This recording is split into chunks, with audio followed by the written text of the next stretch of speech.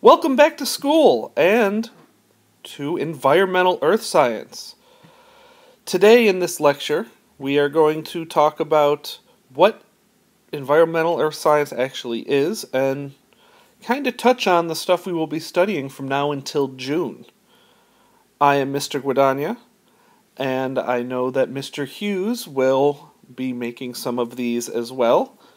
And throughout the year, you will have various note sections from uh, the two of us. So take out your note packets and uh, let's start this thing. We are going to start off by answering the question what is environmental earth science?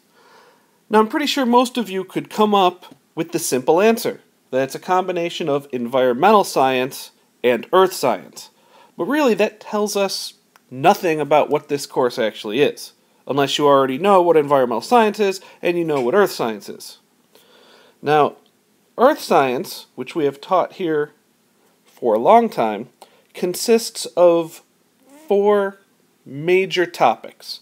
The first of which is geology. And geology is looking at the earth itself, the solid structure of the earth, the rocks, the origin of the earth, what shapes the earth. And we're going to spend most of our first marking period just right here on geology and the good stuff that we can learn from, from geology. Most people, when they think of earth science, they think of the study of rocks. Well, that's all geology, but it's still much more than that.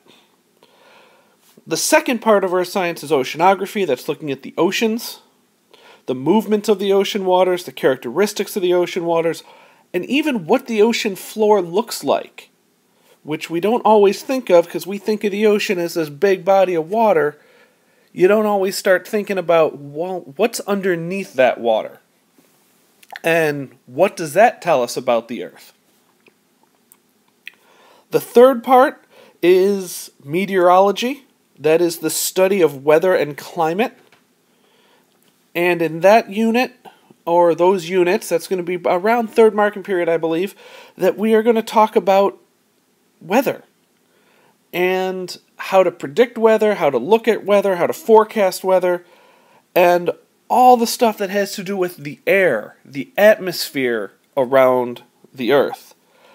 The final branch of Earth science is astronomy that talks about the Earth, its place in the solar system, its place in the universe, and how it interacts with the other bodies in the solar system and universe. We'll hit a little of this, uh, especially to do with the Earth Moon interactions but not as much as a traditional earth science class would hit. So the main thing we're going to focus on is that geology. We'll hit a little bit of oceanography, we'll come back and do a lot of meteorology, and astronomy will be sprinkled in throughout the rest of the course. The other part of that simple answer of what is environmental earth science had to do with environmental science. And environmental science is that study between the interactions of both the physical, chemical, and biological parts of the environment. But for the most part, whenever we start talking about environmental science or we, or we see things having to do with environmental science, we're specifically looking at the human impact. It's the impact we have on the environment, the area around us. And so for this course, for this class, the big things we're going to be looking at are the human interactions. We are humans and we are going to be humans all our, our lives. And we're going to look at how we interact with those four branches of earth science that we talked about on that last slide your geology, meteorology, oceanography, and a little bit of astronomy. But we're really going to focus in on our human interactions, the interactions of us in the earth science realm. So we'll talk about we'll we'll we'll touch on a little bit of biology stuff, maybe talk about ecosystems a little, but we're really going to focus on those more physical aspects of earth science and how we interact with those. Before we can jump into our interactions with the different um, parts of the earth, we need to know a little something about the earth. And we're going to start really simple with some, some basics of the earth. Some of these you might know, some of them you might not. First of all, the earth is the third planet from the sun in our solar system. So that means there's two planets closer to the sun than us, and the rest of the planets are farther away.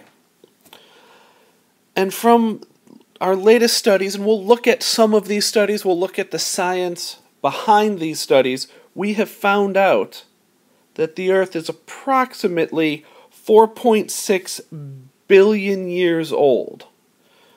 All right, now we know the bills are going to sell for about $1 billion. So if a dollar was a year, we're looking at the price of, you know, four and a half Buffalo Bills teams, if you want to look at it that way.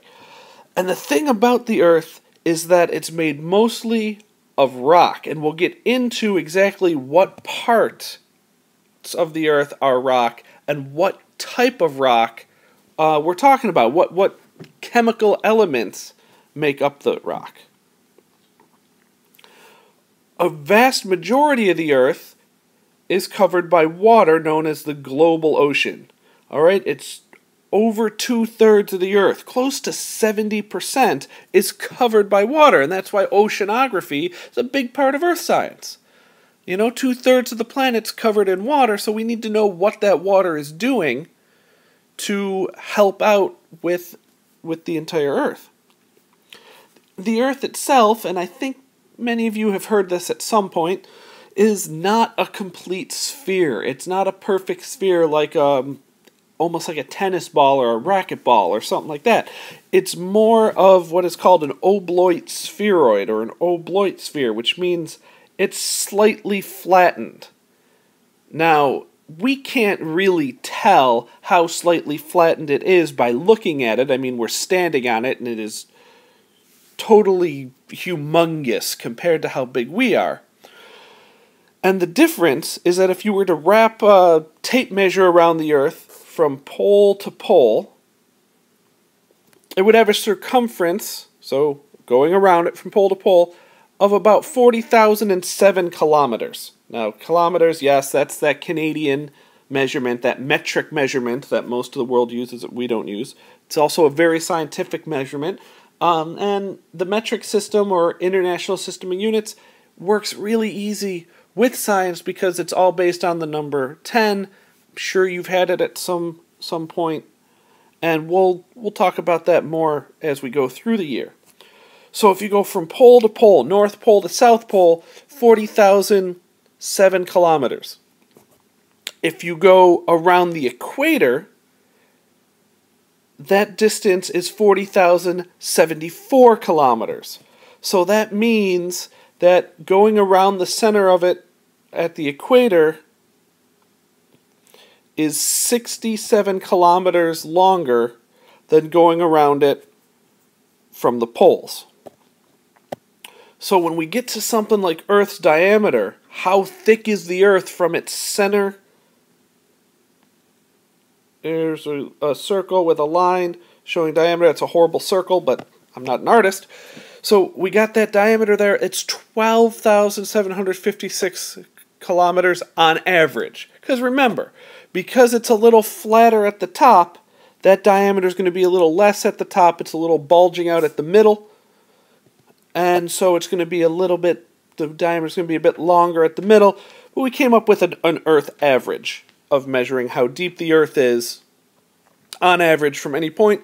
It's 12,756 kilometers thick, is the thickness of the Earth the Earth itself, as we go down under the surface, we got those 12,756 kilometers. Well, as you go down, we divide it into three zones. The first of which is called the crust.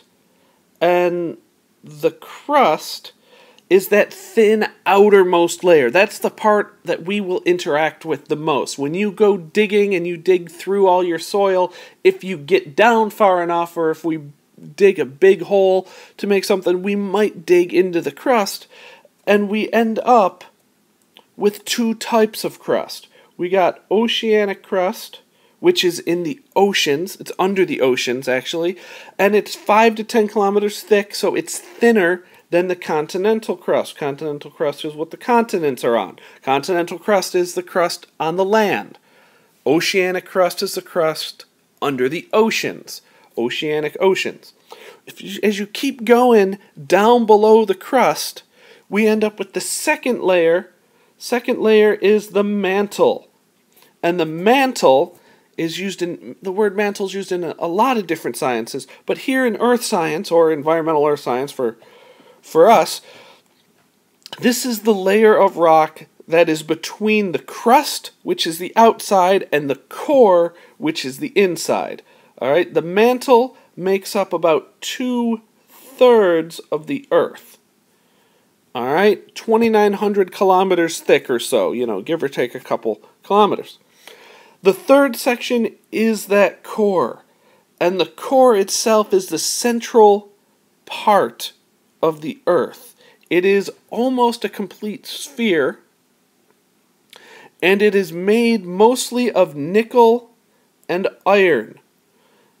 All right, nickel has the chemical symbol Ni, iron Fe, just in case you ever happen to see those again on some test or quiz, maybe tomorrow at the start of class. Who knows?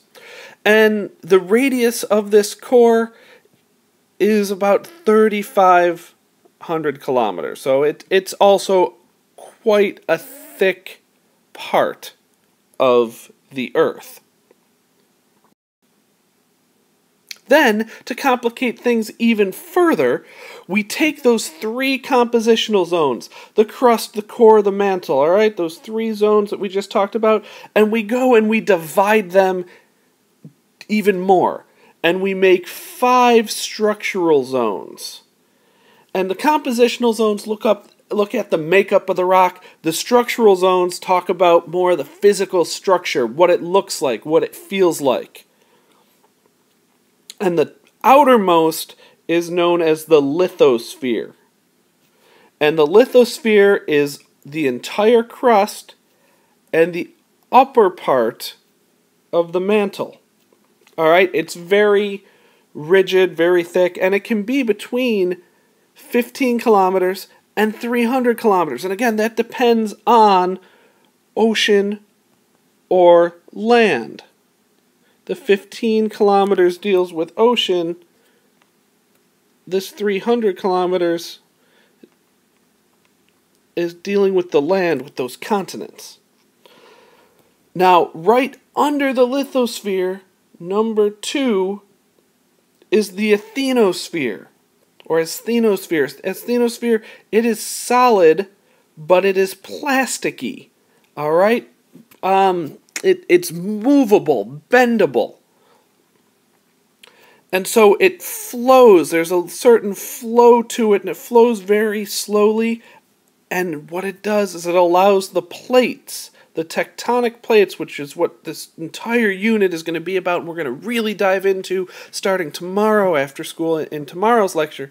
We got this plasticky thing moving, and it's moving these plates around, which cause all the continents to move. After that asthenosphere, we get the mesosphere. Some people call it the mesosphere. All right, it's it's a pronunciation thing. I'm going to use both because I can never remember which I used last time. So the, the mesosphere means middle is meso and sphere is sphere. So we got mesosphere, middle sphere. It's right in the middle. It's number three out of the five. And really, the big thing about it, it's between that asthenosphere and the outer core. It's right in the middle it is actually part of the mantle. Alright, it's a big part of the mantle that is underneath that asthenosphere. After that, we are done with the crust. The crust was up in the lithosphere. We're done with the mantle. The mantle is found both, or in, in all three, the lithosphere, the asthenosphere, and the mesosphere. And then we get to the core, and there's two types of cores. There is the outer core, which is made up of liquid metal liquid metal. It's so hot from all the nuclear reactions deep inside the earth that all these liquids, the iron and the the iron and the nickel all melt. And we got this liquid layer and this leads to the earth's magnetic fields. And that as you go through that liquid core that liquid outer core, you get into the solid inner core, which is ridiculously dense. It's small, but it contains a third of the Earth's mass. And while it's as hot, if not hotter than the outer core, it is a solid and it is a solid because you have the other two thirds of Earth's mass pushing down on it. So the pressure is immense and it's just scrunching all the atoms together, turning them back into a solid, even though it's at a crazy high temperature. Right here, what we have is we have got a picture. And this picture is showing us both the compositional layers, compositional zones, which are right here, crust, mantle, core, and those five structural zones. All right, and we got a beautiful little picture here that is a uh, cross section, trying again to show you the difference. Here's crust, here's mantle. This picture does not go down far enough to be the core. What this is really trying to hammer home is how thin that oceanic crust is when it's under the ocean and how thick that crust can be when it's on land or the, on the continents. And then again, the lithosphere contains both the crust, the top part of the mantle, now, the area right between the crust and mantle, that little zone right there, that's known as the moho, it is not a word you really need to know, but this picture has it in there. It's just that transition from the really rigid crust to the slightly less rigid upper mantle. Then you get into that asthenosphere where it's very plasticky and it can flow a little bit. Um, think about taking a plastic toy and just like heating it up or leaving it out on a really hot day on the street and then you can kind of bend that toy into different things because plastic can kind of be molded and that's what's going on in this asthenosphere. Under that asthenosphere is the middle area the mesosphere that that nice middle spot and then you get to the outer core which is liquid and the inner core which is solid and that's the entire Earth. And that is it for our first video lecture of the year. If you have any questions, write them down. I will be going, or I will be giving you some time tomorrow to ask those questions. All right, be prepared for a pop quiz first thing when you come into the room on your next class day. I know I always say tomorrow. For some of you guys, there's a day in between because of the schedule.